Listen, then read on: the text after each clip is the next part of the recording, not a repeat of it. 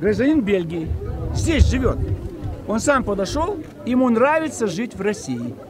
И он за то, чтобы был мир, чтобы Европа и Россия дружили. И у него дома, в Брюсселе, или в другом городе Бельгии, Э, Во Фландрии. во Флориде, Дендермонда. Так вот, вот. город, Петр Великий был там. да. Флаг у него русский там. То есть он любит Россию. Здесь приехал, вот здесь живет, пожалуйста. И Москва недалеко, 90 километров. Вот он подошел. Мы его не звали, мы его, так сказать, он сам подошел сказать. Вот нормальные отношения, когда люди не враждуют. И э, кто-то из Шарапова охота поедет, там будет в Бельгии жить, может, какой-то мастер подберется. Но не враждовать.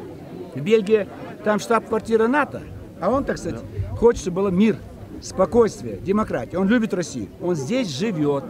А когда домой приезжают, у него там русский флаг. Вот конкретный пример.